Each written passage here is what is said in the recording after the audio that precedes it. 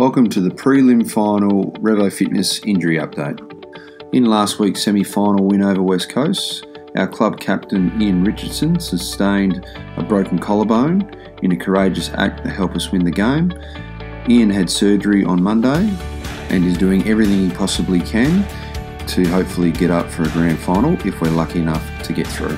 Tom Ledger, who missed last week's win over West Coast with a cork thigh, trained strongly this week and has put his hand up for selection for our game against South Fremantle on Sunday.